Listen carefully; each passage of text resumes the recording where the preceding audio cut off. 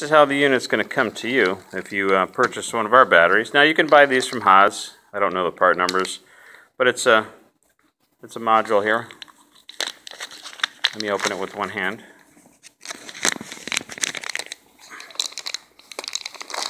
All right. Pretty straightforward. All right, so there's a battery. This is uh, a replaceable um, lithium battery. Me pop the clip on this so you can see. The retainer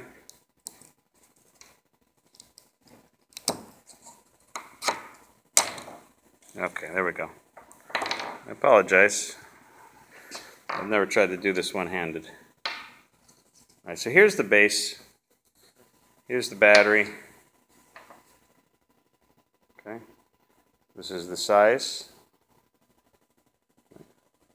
BR2 slash 3A, right? Standard lithium. And the retainer. so, of course, uh, there is a, I don't know if you could see it, but there's a direction on here. And the battery goes in a certain way, right? So positive to the left. Then the clip, just a good idea. And the plug. Okay. So I'm going to wrestle with this rat nest here off screen and we're going to go and we'll put this in the machine itself. Um, by the way, this comes with the Velcro.